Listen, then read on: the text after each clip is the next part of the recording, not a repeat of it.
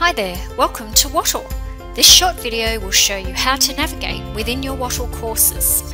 Your Wattle sites might vary slightly from course to course, but the essential elements will be the same. Once you enter your course, there are a number of ways that you can navigate around it. You can use the drop-down menu in the top right corner.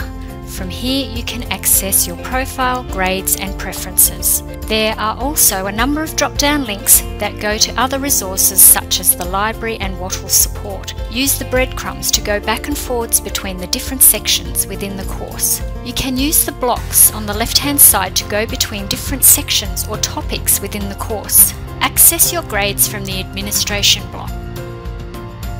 You can open all or some of the sections of the course by clicking on the plus or minus symbols. On the right side of the course, you will find your course convener's contact information, as well as the echo block that links to your lecture recordings. There are many icons used within Wattle. This is a forum icon. Here you will find announcements.